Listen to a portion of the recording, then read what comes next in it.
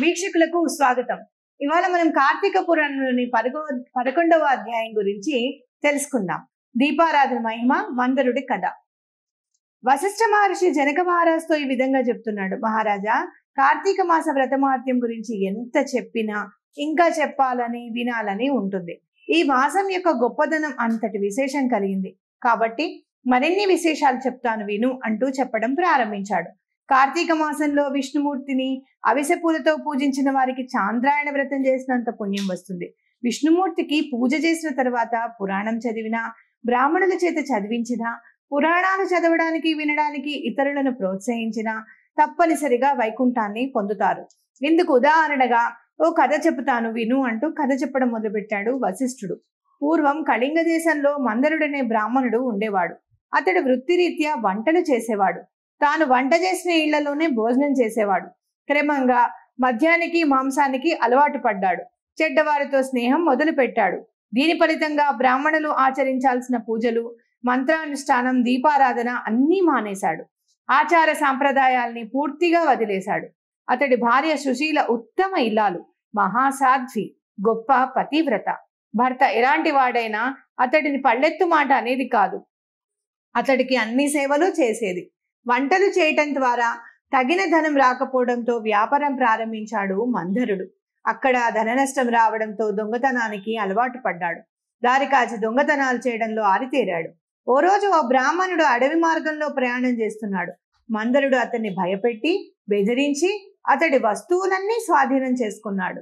ఇంటికి తిరుగు ప్రయాణం అవుతున్న సందర్భంలో ఓ బోయవాడు అక్కడికి వచ్చాడు. బ్రాహ్మణులు ఇద్దరిని చంపి ధనంతో ఉన్న సంచులన్నిటినీ తన వశం చేసుకొని తన గూడానికి ప్రయాణమయ్యాడు. దారిలో ఓ పులి అతడిని అడ్డగించింది. బోయవాడు పులిని చంపేశాడు. పులి పంజా దెబ్బలకు తట్టుకోలేక అతడు కూడా అడవిలోనే మరణించాడు. ఇలా ఒకే సమయంలో ఒకే చోట నలుగురు నాలుగు విధాలైన హత్యల కారణంగా చనిపోయారు. అందరూ యమలోకానికి చేరుకున్నారు. వారు చేసిన పాపాలకు అనుగుణంగా యమభట్టులు వారికి అనేక హింసలను గురి చేశారు. అడవిలో తన భర్త చనిపోయిన విషయం సుశీలకు తెలిసింది.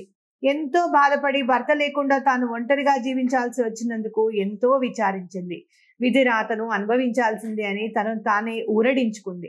నిరంతరం హరినామ స్మరణ చేస్తూ సజ్జనుల సజ్జనులతో స్నేహం చేస్తూ ధర్మ కార్యాలు నిర్వహిస్తూ కాలం గడుపుతోంది. ఒకవేళ ఓ మహర్షి ఆమె ఇంటికి వచ్చాడు. గొప్ప తపశ్శక్తి కలిగిన మహర్షి తన ఇంటికి రావడం ఎంతో పుణ్యంగా భావించిన సుశీల ఆ మహర్షికి అనేక ఉపచారాలు చేసింది. గురు పూజ చేసి సత్కరించింది.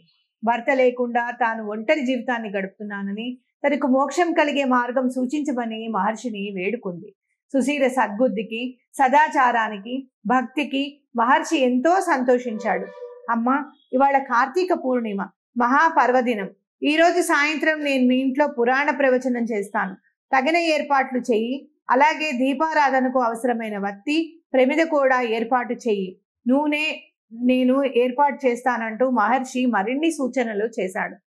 అందుకు సుశీల ఎంతో సంతోషించింది. ఇల్లంతా ఆవు పేడతో చక్కగా అలికి ముగ్గులు పెట్టింది. సాయంత్రం వేళకు అవసరమైన ఏర్పాట్లన్నీ చేసింది. పురాణం వినడానికి రండంటూ చుట్టుపక్కల వారందరినీ పిలిచింది. దీపారాధనకు అవసరమైన వత్తి ప్రమిద ఏర్పాటు చేసింది. సాయం వేళకు మహర్షి నూనె తీసుకువచ్చాడు. దీపారాధన చేసి విష్ణుమూర్తిని ధ్యానం చేసి పురాణ ప్రవచనం చేశాడు ఆయన. సుశీల ఎంతో ఏకాగ్రతతో పురాణం విన్నది. ప్రవచనం పూర్తయ్యాక మహర్షి ఆమెను అనేక విధాలుగా ఆశీర్వదించి వెళ్ళిపోయాడు. ఆమె కూడా మరింత భక్తితో భగవంతుడి మీదే దృష్టి నిలిపి జీవితాన్ని గడిపింది. అంతిమ గడియలు సమీపించడంతో విష్ణునామాన్ని జపిస్తూ చివరి శ్వాస విడిచింది. ఆమె చేసిన పుణ్యాలకు ఫలితంగా విష్ణుదూతలు ఆమెను విష్ణులోకానికి తీసుకువెళ్ళడానికి వచ్చారు. అయితే పాపాత్ముడైన భర్తతో కొంతకాలం జీవించినందుకు ఫలితంగా నరకలోకం మీదుగా ప్రయాణించి ఒక్క క్షణం అక్కడి పాపాలను చూడాల్సి వచ్చింది. నరకానికి చేరగానే అక్కడ అనేక శిక్షలు పడుతూ బాధపడుతున్న తన భర్తను ఆమె చూసి ఎంతో దుఃఖించింది. తనతో పాటు వారిని కూడా విష్ణులోకానికి తీసుకువెళ్ళమని కోరింది. అందుకు విష్ణుదూతలు అంగీకరించలేదు. అమ్మా నీ భర్త కులాచారాన్ని విడిచిపెట్టాడు దొంగతనాలు చేశాడు. మరో బ్రాహ్మణుడు కూడా మిత్రద్రోహి. తన స్నేహితుడిని చంపి అతని ధనాన్ని దొంగలిస్తుంటే నీ భర్త చేతిలో బందీ అయ్యాడు.